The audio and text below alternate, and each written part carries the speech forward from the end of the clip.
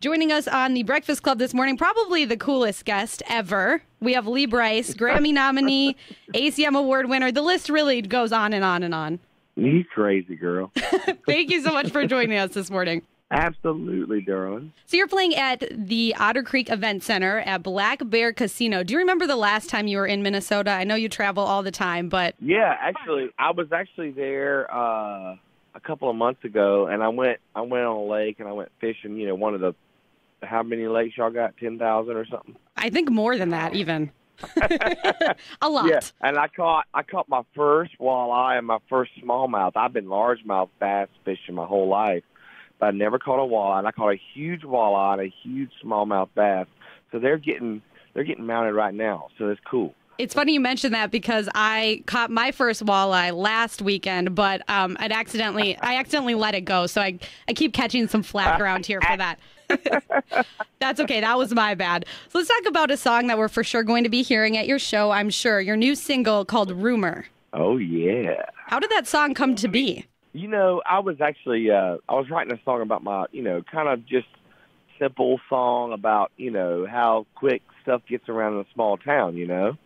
And and I figured, you know, well it's a lot about my my hometown. And then, you know, probably like most little small towns that, you know, rumors get around quick. And then I thought to myself, well, I guess uh I guess the whole world is a small town now with social media and all the stuff that goes on. It's like everybody knows everything immediately. So maybe rumor is bigger than just a small town. Who knows?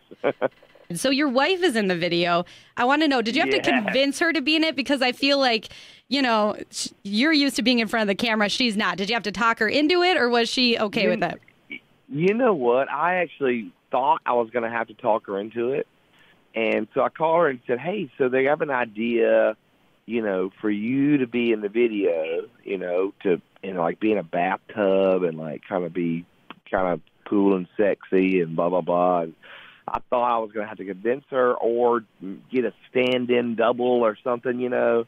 And she was like, I'm in. Like she was ready to do it. So, I mean, you know, she had actually she had a lot of fun. She had a really, a, she really did have a lot of fun. And, you know, it's like, I guess, you know, she, she's just like, I love getting dressed up. I love getting out of the house. And she's always there with all three kids and she's always just working and, and, uh, it just, it was fun to get out with her and it was almost like our date night, you know. A country music date night. Have your wife be in the music video. I love it. so aside from hearing rumor tonight, what else can we expect from your show? Oh man, well I love to I love to kind of keep it dynamic like a roller coaster ride, you know, and and uh, so we'll come out hitting hard and and uh, you never know I might hang my feet my boots off the end of the stage and just play an acoustic guitar for a while, you know, and uh uh but we we I've got the, the same band I've had for uh, going on 11 years now. And so we have a great time every night on stage, and so that hopefully that that that trans you know transcends uh, you know to everybody else. Absolutely. And we love country music so much here in the Northland.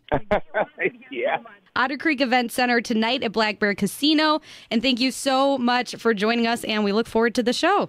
Absolutely, darling. I'll see you soon.